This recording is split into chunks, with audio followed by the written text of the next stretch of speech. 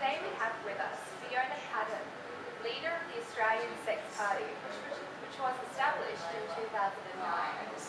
In encouraging and embracing International Women's Day, we have Fiona Patten here today to discuss the aims of the Australian Sex Party and give a little bit of background of herself as the leader of such a controversial and different political party. Fiona, how are you today? Really well, thanks, Elly. That's good. So Fiona, a little bit of background about yourself. How did you come about to be the leader of something known as today the Australian Sex Party? Yes, I, I sometimes ask myself that same question at times. But I have been working as a lobbyist for the last 18 to 20 years and mainly representing small businesses in the adult sector. So representing the producers of condoms or uh, the, um, the makers of adult films or adult retailers. So we're in that sector and we were getting further and further frustrated by the inaction of government and also government, it seemed that the community was going one way in their attitudes towards sex and sexuality and the government was going in another. And then I think probably in a mad moment of madness, we thought, well, if we can't beat them from the outside, let's try and join them from the inside.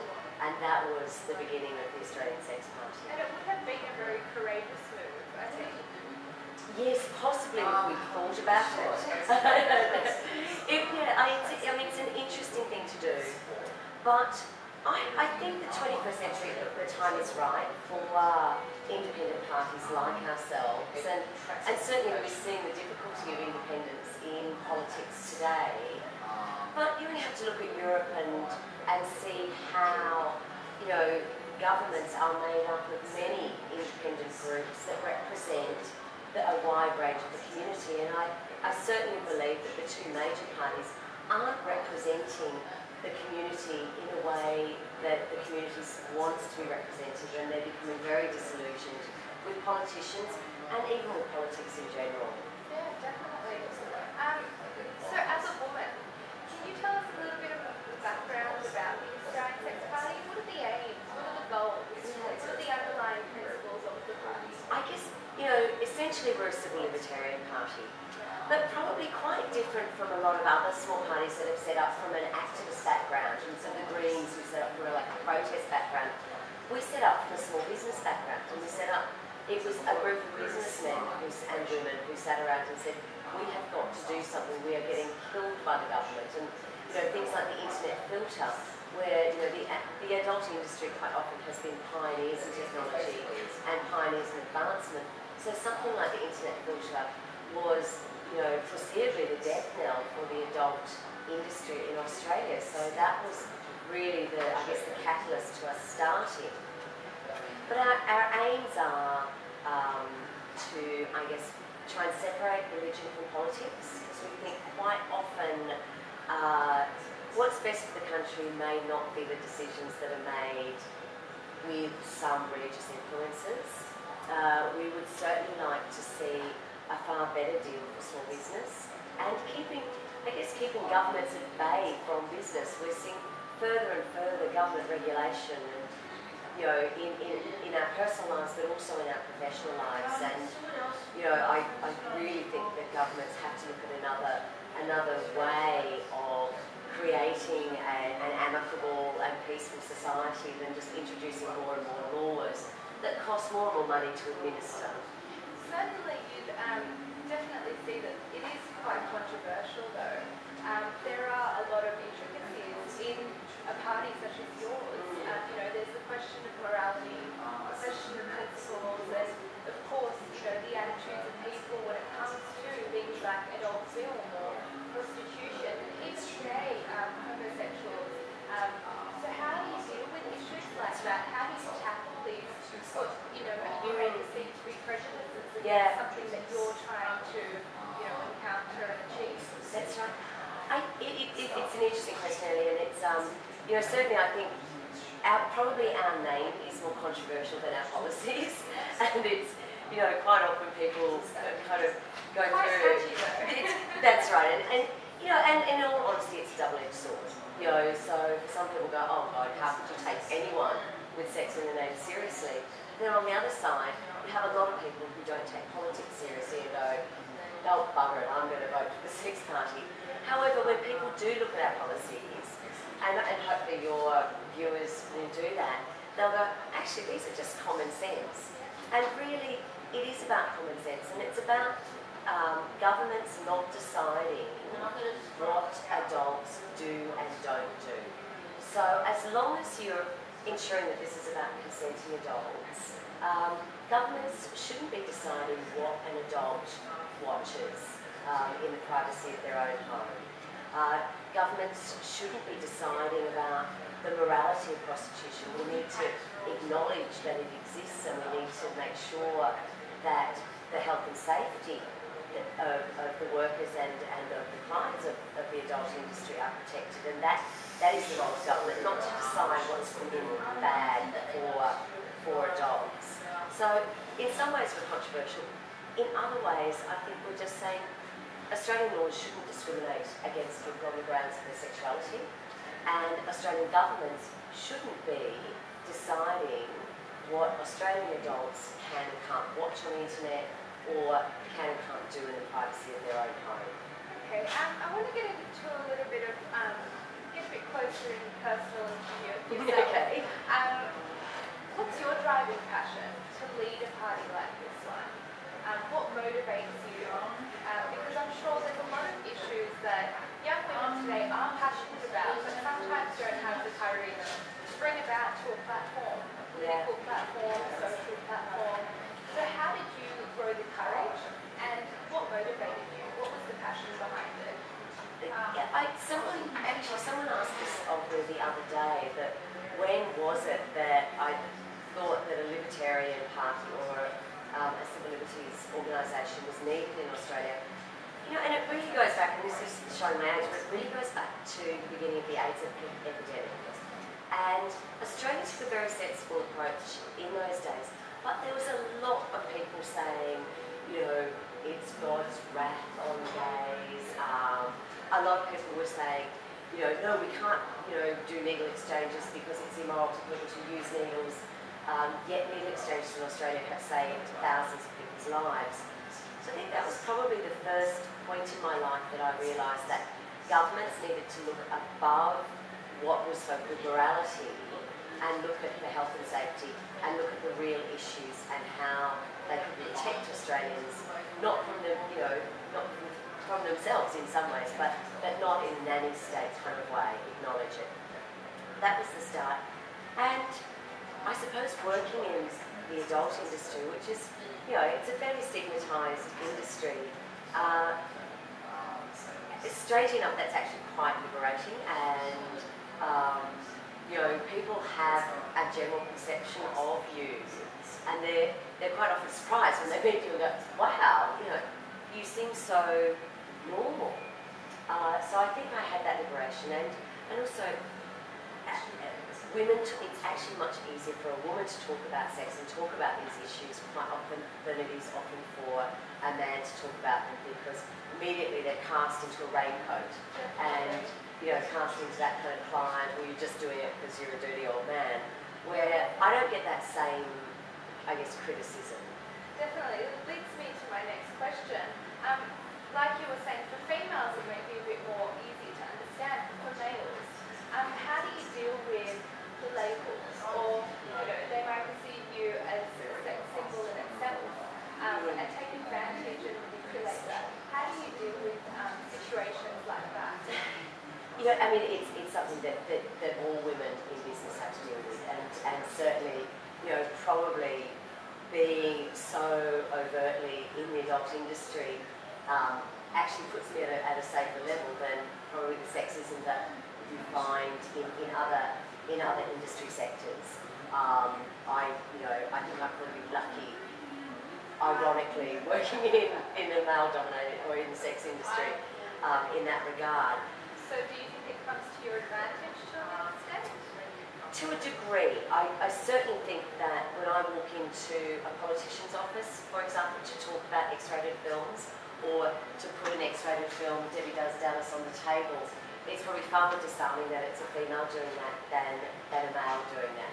And yet, you know, you would think it would be the opposite, that they would kind of be able to go, yeah, mate, you know, that was great. But I, I actually think it's, it's one, it, it actually works to our advantage. But look, being, being a woman in business and being female, you know, we still not, you know, we still have so many um, in, inequities and we've still got a long way to go there. So I still find some of that same you know, discrimination and, oh, you know, you're a lovely little lady kind of thing, don't you Can you worry, sweethead. on any examples that you may have seen to be a challenge or um, maybe an example of, um, you know, this kind of situation I might. I might actually go the opposite way if you don't mind, Elly. I just um, because it, it's it's really on my mind today. Um, Hustler magazine is just put out an Australian edition, and you know Hustler is kind of you know it's a it's a it's a global brand, of course. Now I'm actually in Hustler, which comes out next week, and I, you know this is not something I have ever done in my life, but it was a way to say, you know what, there is actually nothing wrong with sexuality and nudity, and I should put my money where my mouth is in that regard. So I think it's the first time that a political, a leader of a political party has ever appeared in an adult publication. Um, and it was really about challenging some of that. Now, it, I think it's, I don't know how people are going to respond, and I think it's going to be really diff- interesting. And I know lots of members of my party are kind of going, oh God, I, I don't know if I can buy that magazine. But it, it was either a, a brave or a brash or a, or a really silly thing to do. But I've just decided to take the bull by the horns and actually do something that's completely left of centre um, and, and see how that falls down. And I'll probably the most criticism will be feminists and, and, and women. But Yeah, which is exactly where I was leading. Do you think it's in retaliation that you um, act and you know go into something like that, or do you think um, you know are you trying to make a statement? What's the what's the reasoning behind it? Because there is the question of morality that a lot of people will be wondering about, and you know the principles and you know whether it's right, whether it's wrong. Um, ultimately, as human beings, we do have that perception. Um, and how do you deal with that? Have you overcome that fear factor of what people will think, or no, not yet. Actually, I'm very frightened about what people will think. But I do think it was the right thing to do, and I think it was. Um, not, I guess morality is not quite the right word, but from a perspective to say that there is nothing wrong with adult sexuality and that, you know, we should not be judging others on that. Um, you know, yeah, I'm an atheist, but I don't mind what people believe in as long as they don't try and push those beliefs on me. So I think this was, uh, I guess, a challenge out there, putting a it was a bit of a challenge out there to myself personally, but, but also out there saying, you know, there is nothing wrong with sexuality and, and nudity, and I'm going to prove it by doing something like this.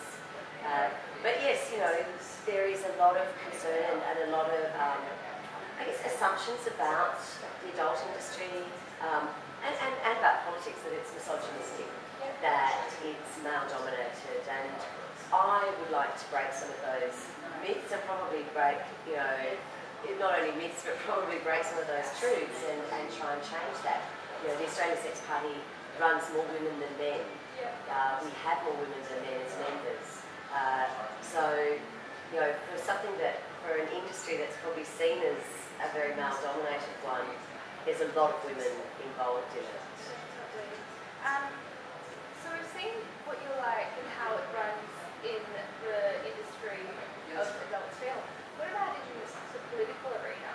Um, how is it like as a woman um, who, you know, sometimes, as we said before, isn't taken seriously and your message isn't put forward strong enough? Um, how do you deal with those, those kind of issues um, in the political, political arena, It's particularly by men?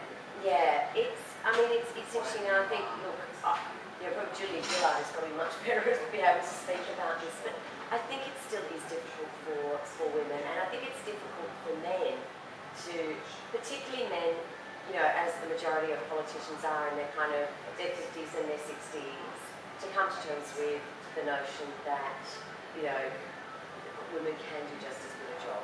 And it's, but possibly differently.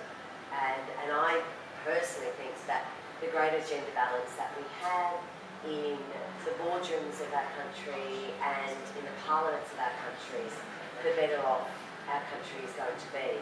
I think women do take a different approach to problem solving, um, and that's not to say that it's a better approach, it's just a different approach. And when we combine the two, I think that's when we can see much more successful outcomes coming out economically, socially, and on possibly on all levels of society. So where to next for the Australian Sex Party and for yourself?